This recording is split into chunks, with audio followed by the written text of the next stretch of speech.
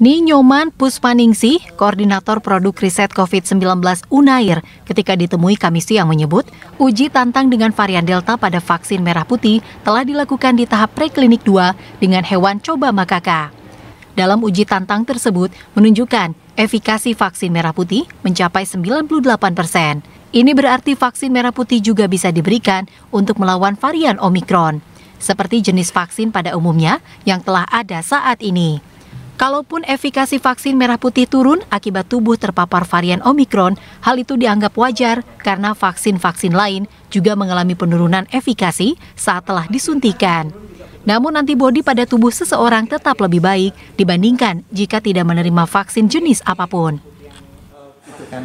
Jadi kami tentunya berharap dengan uh, adanya informasi bahwa pun uh, sampai dengan hari ini masih bisa homologus vaksinasi untuk booster ataupun heterologus itu kan menunjukkan bahwa uh, vaksin-vaksin yang sebelumnya itu masih memiliki efikasi yang di atas 50%. Jadi uh, tentu kami dengan hasil yang sebelumnya preklinik juga uh, baik gitu ya. Tentu ini saya rasa Omicron uh, tidak terlalu uh, berpengaruh besar.